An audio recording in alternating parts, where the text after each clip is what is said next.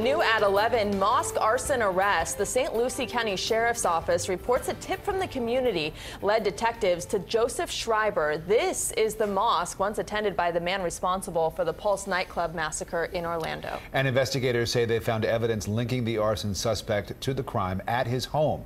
CBS 4's Carey Codd joins us live from Fort Pierce. Carey. Yeah, Rick and Rudabeh, the St. Lucie County Sheriff's Office said it was tips from the community as well as surveillance video from around the mosque here that led them to Joseph Schreiber. As you look at the damage, we are learning that when deputies served a search warrant at Schreiber's home, they found a motorcycle like the one in some surveillance video recovered, as well as evidence that linked him to the arson. The St. Lucie County Sheriff's Office says this man, Joseph Schreiber, is the man seen running in the surveillance video after setting fire to the Islamic Center of Fort Pierce this past Sunday, September 11th.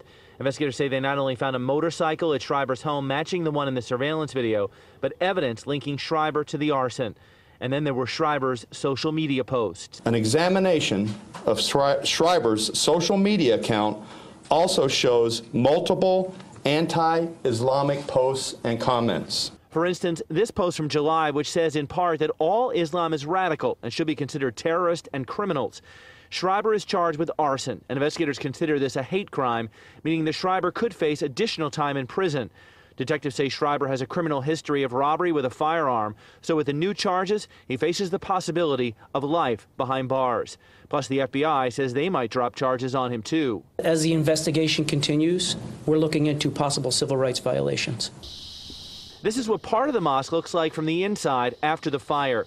Wilfredo Ruiz is with CAIR, the Council on American Islamic Relations. An attack in a place of worship like this, our mosque is not really an attack of a mosque, it's an attack on all the places of worship in Florida. This mosque is connected to another act of violence Omar Mateen occasionally worshipped at this mosque.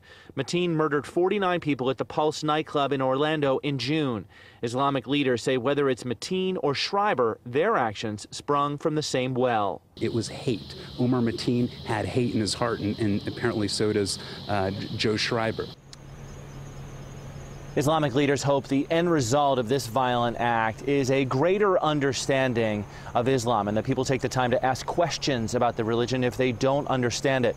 Mosque leaders tell us they plan to rebuild and they're already raising money for that effort. Live in Fort Pierce, Carey Codd, CBS 4 News Tonight. Carey, thank you.